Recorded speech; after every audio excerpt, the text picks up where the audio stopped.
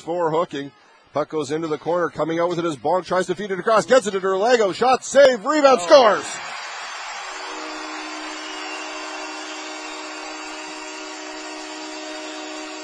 Derlago got dumped in front of the net, and the penalty was up coming to the Salmon Kings. But Ellis was down. Derlago was there as well, and he was down.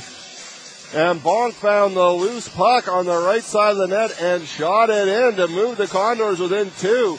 And that will be a power play goal as there was one second remaining in the penalty to Gender. So the Condors respond with a goal of their own. And Dave Bonk continues to cause trouble for the Salmon Kings. What a player from Brandon, Manitoba, fifth year pro out of northern Michigan. Bonk spent the last couple of